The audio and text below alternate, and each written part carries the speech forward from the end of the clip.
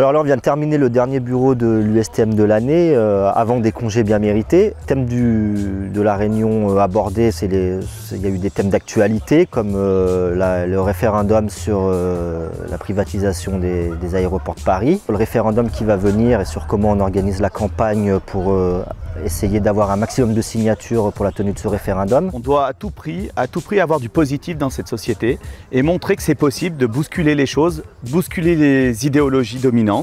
Et euh, le référendum, c'est une bonne occasion pour dire on peut, on peut faire autrement. Aujourd'hui, on sait ce que ça veut dire privatiser, qu'on a vu avec les autoroutes qui, qui reversent 4,4 milliards 500 millions euh, aux actionnaires. Eh bien, avec les aéroports, ils vont faire la même chose. Et donc, nous, on pense que cet argent, c'est mieux pour le collectif. Le référendum, c'est l'occasion de montrer que le peuple doit décider. C'est surtout ça le fond politique, c'est qu'aujourd'hui, on a un peuple qui a besoin de décider, il faut lui redonner confiance. C'est l'occasion de pouvoir montrer que c'est possible de jouer collectif. Euh, le plan de parrainage euh, devant les boîtes, distribuer des, des tracts devant les boîtes là où on n'est pas or- organisé, puisqu'on considère aujourd'hui que pour se renforcer et renforcer la CGT, on doit aller à la- au contact des salariés où on n'est pas organisé. Dès septembre, en fait, on va partir sur un plan de parrainage.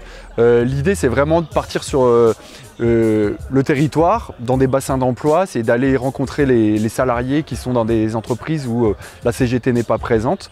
Donc, euh, tous les membres du bureau vont être partie prenante de, ces actions. Mais par contre, on fait appel à tous les syndiqués, toutes les, personnes qui se sentent motivées pour, euh, bah, aller au contact. Et euh, aussi euh, sur les enjeux de la convention collective et sur comment on va organiser la bataille d'ici ces quelques mois là jusqu'au 6 décembre, jour d'action nationale devant l'UMM à Paris. Les négos sont toujours en cours. Euh, Il y a du taf qui n'a pas été fait euh, jusqu'à présent et malheureusement on en paye aujourd'hui les pots cassés. hein.